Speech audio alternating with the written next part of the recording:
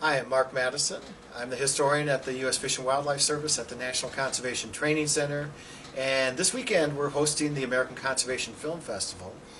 And our favorite film of the festival, the Best of Fest winner, uh, was a film called The Serengeti Rules. And I'm very fortunate to have the filmmaker Nicolas Brown uh, joining me briefly to talk about this film. It actually got the uh, Green Fire Award, which I named uh, 15 years ago after Aldo Leopold as, as one of our inspirations. And I can't think of a film that actually has fit a Leopoldian award as well.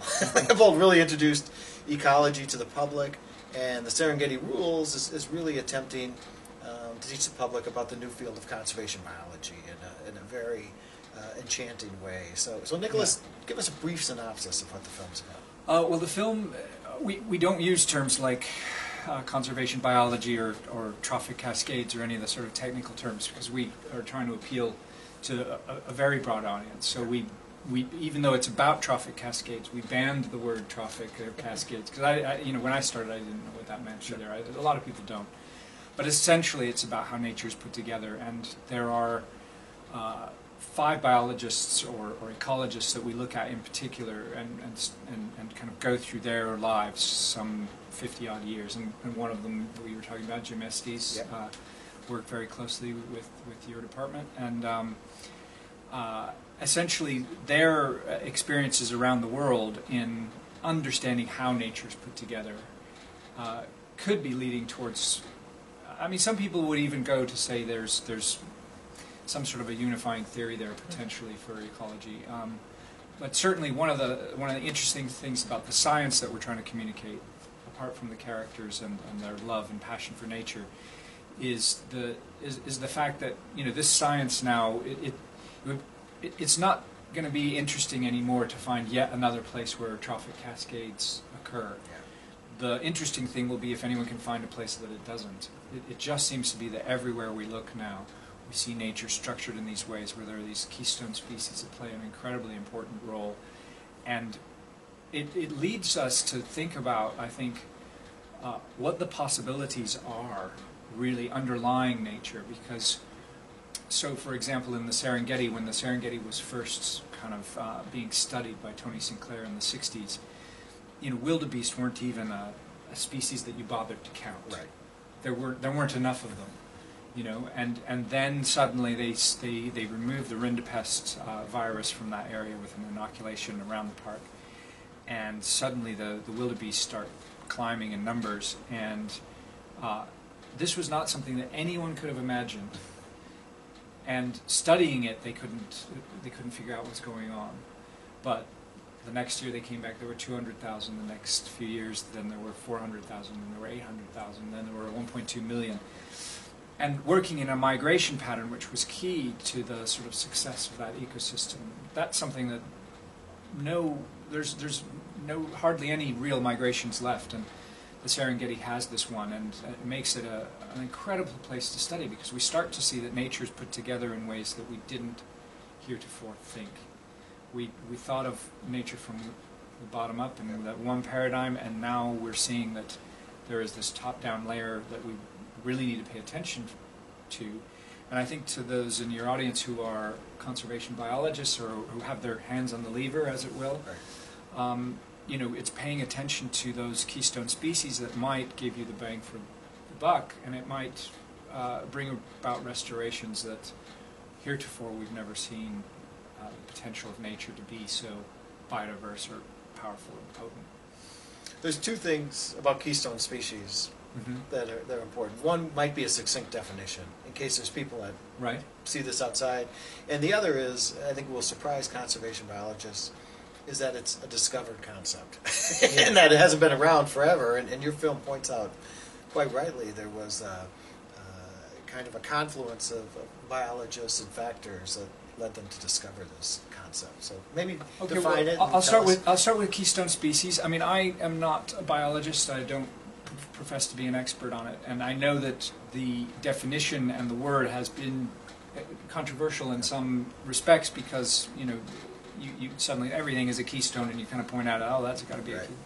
But as I understand it, a keystone is a species that does exert uh, an inordinate um, influence on its environment, and its presence by which can literally. I, I I like to think of it in terms of, um, you know, the, the, some of my colleagues are, who, who worked on the film with me are physicists, and they they, they talk in physics of, of um, steady states, and there can be two kind of steady states or alternate states for, for various environments, as, as I understand it. And what and the keystone is, is kind of a, a key species that makes the difference. So, for example, you might have a like in Bob Paine's original work.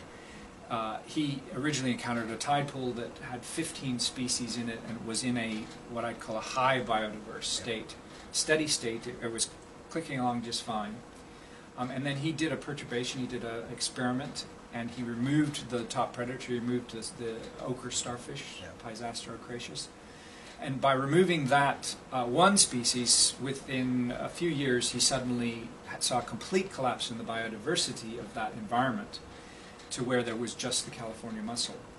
Um, so the film goes into this and, and explores it then in other environments, but the principle is is that if you have a keystone within an environment, you it, it protects the biodiversity um, and and uh, sort of makes room or allows for more biodiversity than you sometimes can even imagine. Um, and in the case of the Serengeti, it was you know the multipliers were were you know uh, it, it'd be really interesting comparing the Serengeti, for example, to say Yellowstone. Uh, Yellowstone, we put in one predator and we saw kind of extraordinary results. You put back a, a, a wolf, and suddenly streams are running clear, willows and aspens are returning, Right. cottonwoods returning.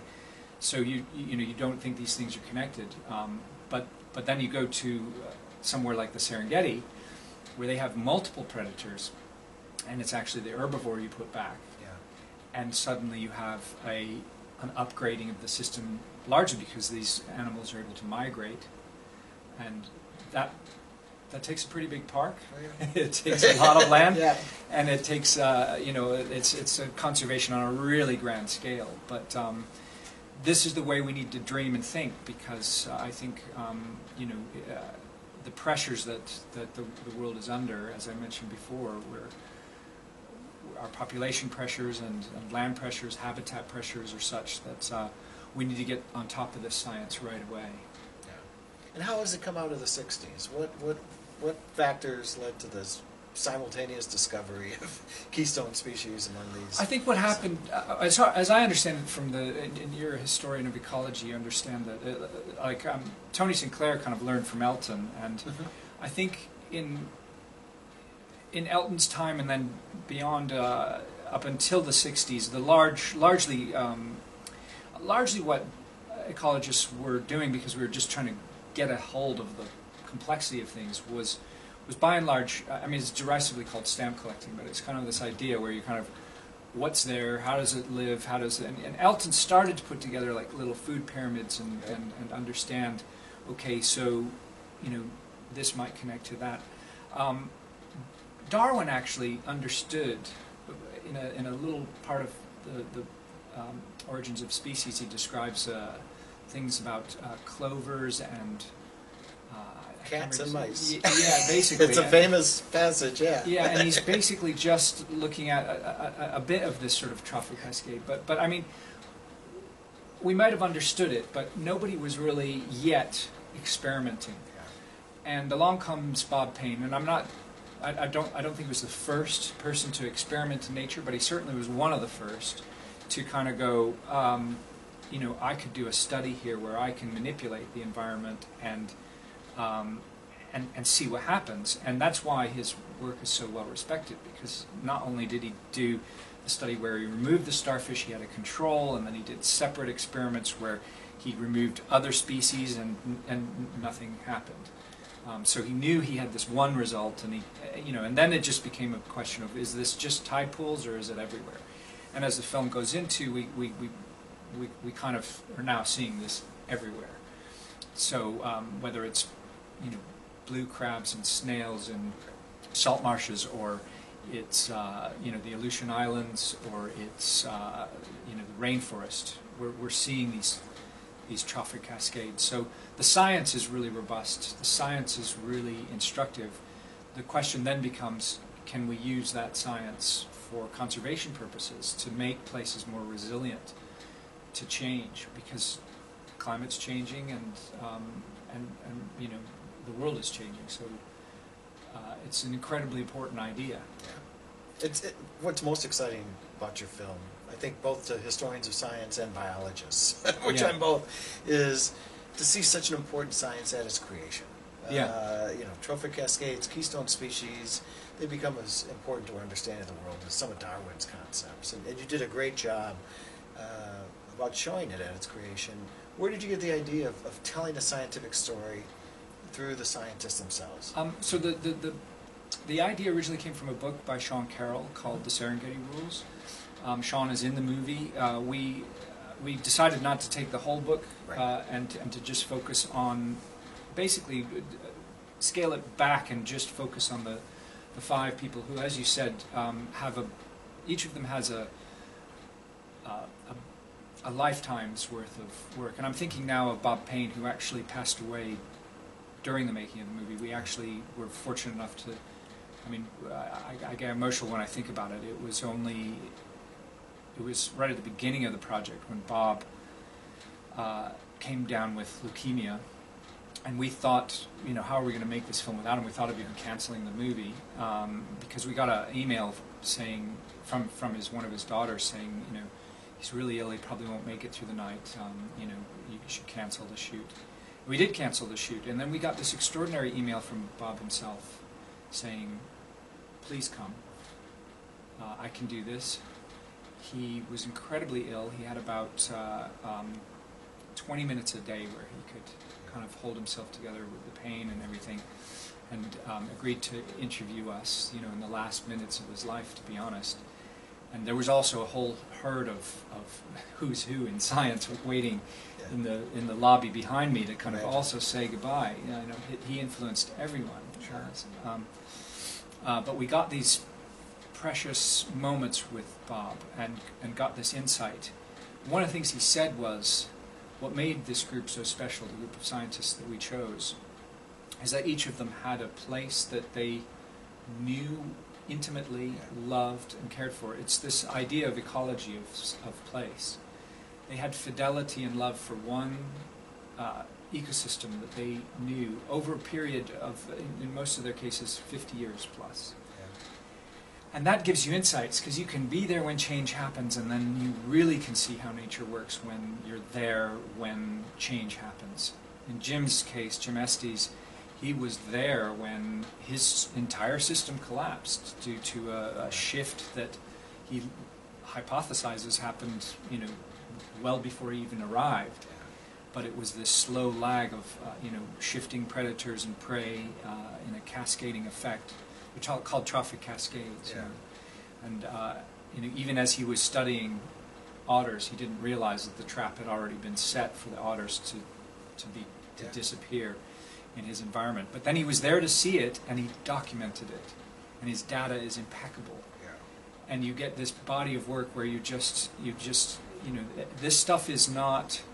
Uh, you know, it's not just ideas. This is data. This is stuff that um, it's gold. It's like you know, it, it, you you you look at their work, and um, it only can happen through a lifetime of study, and uh, that's why it's so valuable to have because you you know we know we can believe it, we know why we can believe it, and we know where the data comes from, uh, and you know there's a new generation now of, of ecologists Yep. who are who are taking up that mantle, and um, there's new techniques. I know I, I know ecologists in London who never leave the cafe. They just use Yeah.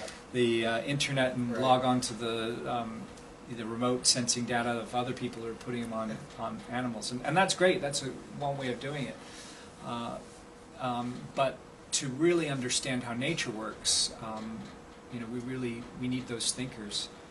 And I, I think in the film you see five extraordinary thinkers who nobody really they aren't like big public figures necessarily, but they sure are geniuses and smart, and they, they worked out uh, things about, like you say, with ecology and how the world works that, you know, it, it, has that significance of, of um, you know, obviously the Darwin's ideas, there are many ideas that, you know, there were there were Leopold's ideas, there were uh, Elton's ideas, there were E.O. Wilson's ideas. Right. Um, these are all kind of big landmark ideas. Um, but I think the I think that this idea of the trophic cascade is, is here to stay for a while at least, and um, uh, and understanding it quickly, being able to uh, being able to react um, is is really crucial. So you know, again, I, I think it's great the public can see it, but I really think it's great this audience can can see the movie if they can. I think that's an eloquent way to go out. Uh, basically, uh, the passion of the scientists, hopefully, Yeah. uh, the old timers, Yeah. some of whose equipment we have back here, going back yeah, to the do, yeah. 60s. Hopefully, uh, that'll uh, work its way through this film to the, the current ecologists out there facing increasingly daunting issues themselves. But at least they have this new theoretical framework to work with, which really has transformed how we do our conservation work. So, Yeah. thank you for this Absolutely. wonderful film and this tool to help Great. us do our job better. And I hope the public, you know, if the public gets behind this too, it makes Yeah. your job easier, right? Very So, much so. so if people understand, there's a quote at the end of the film: "We need to understand how to get from intolerance, where we are now, to tolerance." And I think about programs like the Red Wolf program and, and some of the other programs that you all have, and um, I, I'd really like to see those those things being implemented. I, I just want to say one thing. You know, um, where in the East uh, there's Lyme disease around, and uh, there was a study that came out not too long ago that looked at the red wolf as being a possible interrupter for the cycle of the Lyme disease. You know, that it, it, it reduces the coyotes, you get more foxes, more Right. foxes eat more mice, and, and that vector goes down. And um, so these things have health implications. So if they're implemented by you guys, if the programs survive, uh, you know, the Red Wolf program is struggling, but some let's let's get it back. Let's uh, let's protect uh, that species, and um, maybe it can be used to prevent such diseases as, as Lyme disease. You know, these things can have real world consequences for everyone. Great message. Thank you. Great, We've been speaking Thanks. with Nicolas Brown. thanks. His film was called The Serengeti Rules. It's showing tonight at the American Conservation Film Festival, repeating next week. Um, it won our Best of the Festival Award, the Green Fire Award, and it's a wonderful film. I hope you all get a chance to see it.